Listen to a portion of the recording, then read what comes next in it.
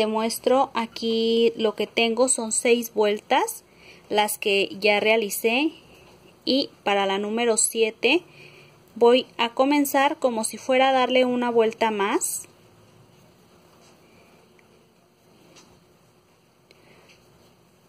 Un punto por cada espacio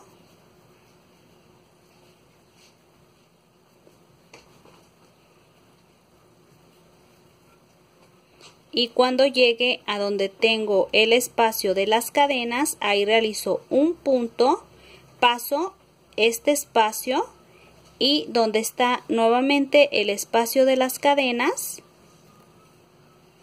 así de esta manera hago un punto bajo y continúo con punto bajo uno por cada espacio hasta llegar al siguiente extremo donde me voy a encontrar con eh, el mismo proceso o tengo que realizar el mismo proceso para la siguiente manga.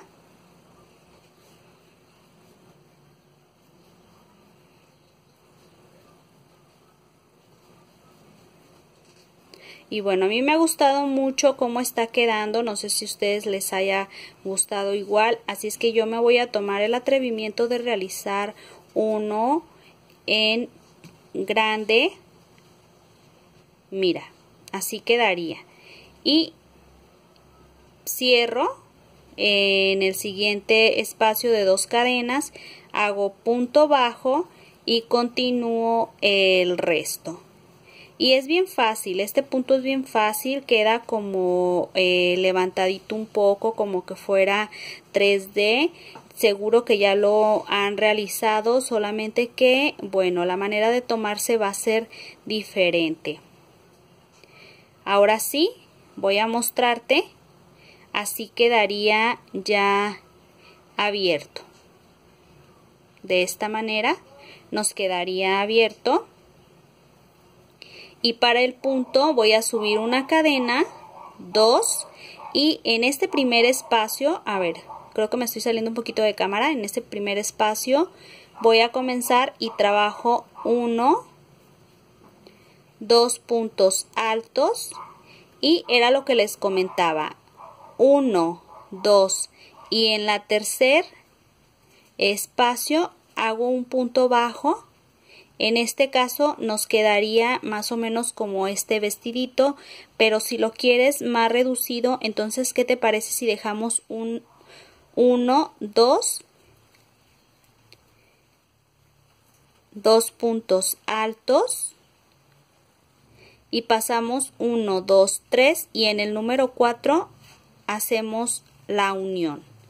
Esto es en caso de que quieras que no quede nada de como en forma de vestidito, porque este nos da como la forma de un vestidito. Entonces, si lo quieres como para un varoncito y lo quieres recto, esta es la manera en que vamos a trabajarlo.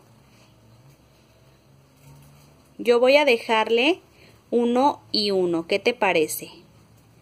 Es decir, 1, 2 y en el número 3 realizo el punto bajo. 1, 2, realizo dos puntos altos. Y cuento. 1, 2, 3 y en el número 4 hago la unión. Y así nos va a ir quedando. 1, 2 y ahora hago dos puntos altos. 1, 2 y en el número 3 hago la unión. Y si te fijas en uno dejamos dos espacios y en la tercera hacemos la unión y en el que sigue hacemos tres espacios y en el cuarto hacemos la unión. Ahora corresponde al número 4. 1, 2, 3, número 4 hago punto bajo.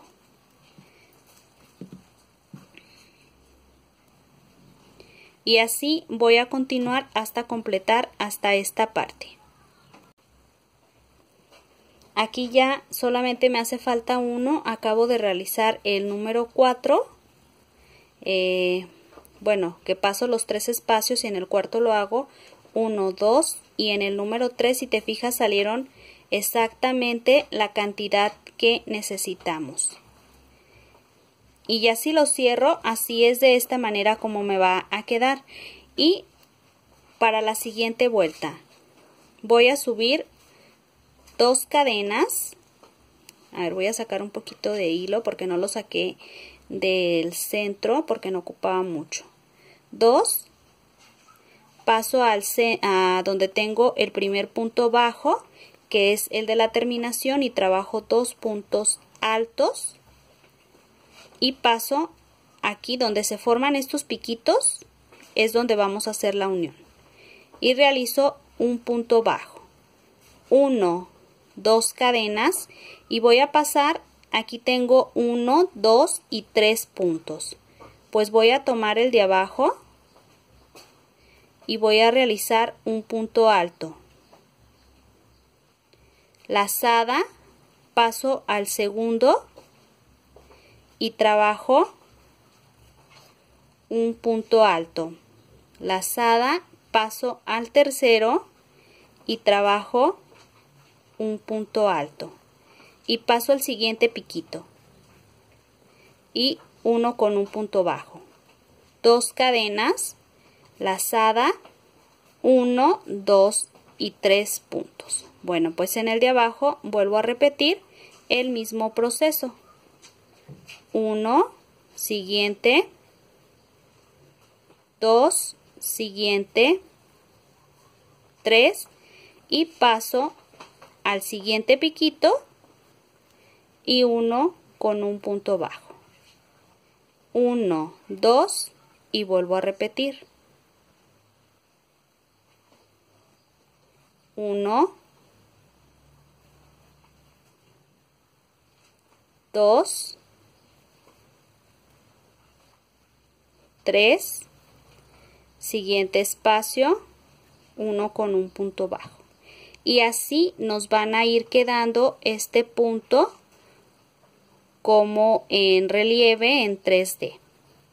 Y este punto también lo vamos a utilizar más adelante para una bufanda, aparte de hacer la chambrita Así es que este punto me gusta mucho a mí en lo particular. Siguiente espacio, punto alto. Y miren qué bonito está quedando. Uno, dos cadenas, paso al primer punto, alto, trabajo punto alto. Segundo, punto alto y tercero, punto alto, siguiente piquito, punto bajo. Voy a terminar hasta el final el mismo proceso para regresar contigo.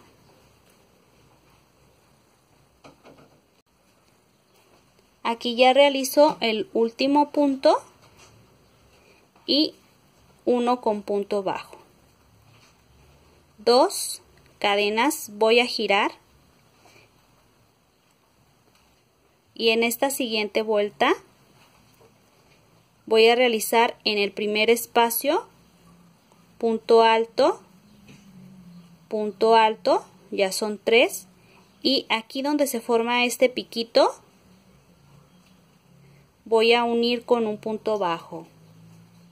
Dos puntos altos y vuelvo a repetir 1, dos puntos altos, siguiente piquito, aquí se alcanza a ver, miren chicas, estos piquitos si se alcanzan a observar, ¿sí? Entonces voy a ir tomando los piquitos, a ver, y así en esta vuelta van a quedar lisos. Y así voy a continuar entonces toda la vuelta va a ser sencillo. Vamos a ir nada más tomándolos aquí donde se alcanza a ver. Si los volteo por el lado derecho es donde se realizaron las dos cadenitas, las dos primeras cadenas que se realizaron porque estos ya serían los puntos a trabajar. Entonces donde están las cadenitas ahí es donde voy a realizar las uniones dos cadenas. Dos puntos altos y uno con punto bajo. 1 2 y vuelvo a repetir. Entonces voy a terminar esta vuelta para que vayas viendo cómo nos va quedando. Una vez ya terminada nuestra vuelta subo dos cadenas. En el primer punto bajo realizo dos puntos altos. Siguiente arquito punto bajo. Dos cadenas.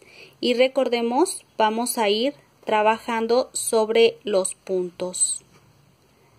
Así es que trabajo uno. Siguiente 2, siguiente 3 y paso al siguiente y 1 con un punto bajo. 1, 2 y vuelvo a repetir. 1, 2, 3,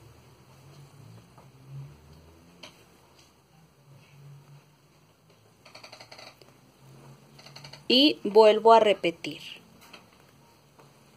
1 2 paso al siguiente.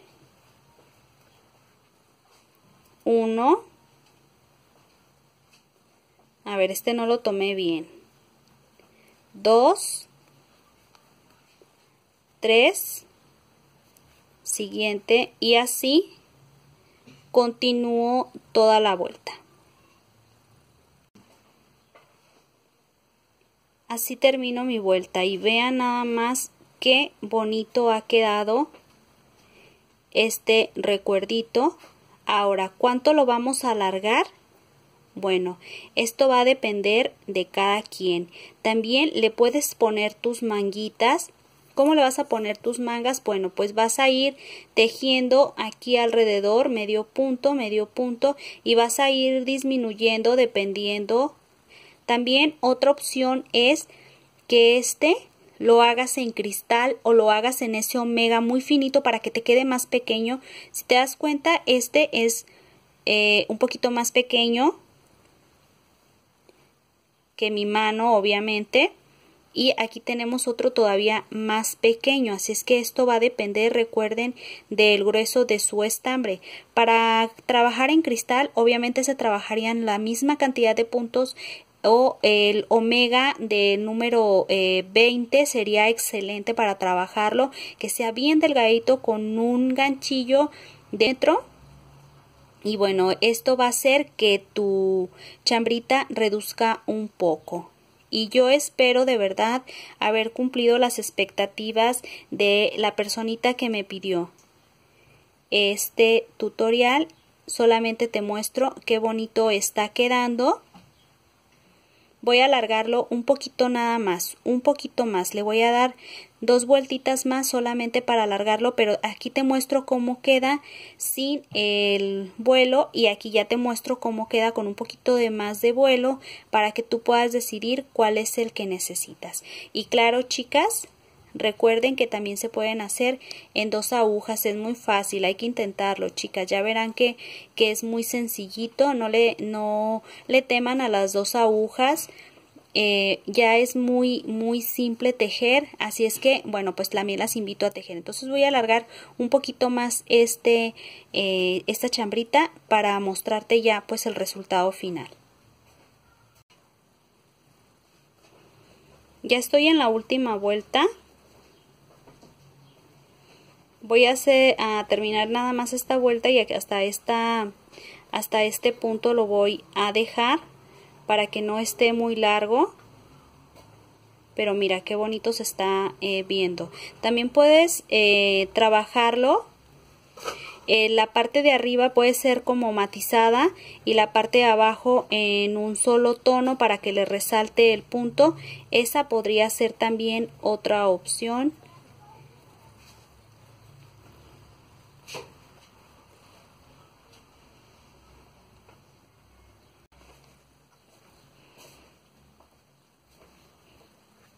Finalizo y ya retiro el estambre y lo pierdo por la parte de atrás.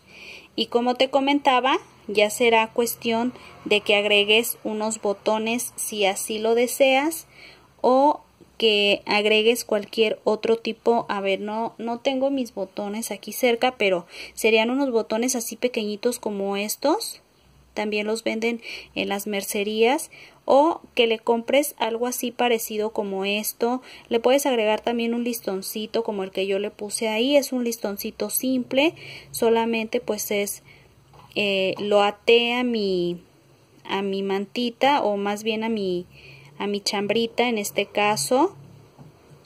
Lo puedes hacer con un tenedor también, chicas, ¿eh? Solamente aquí te lo estoy mostrando, bueno, pues de manera rápida.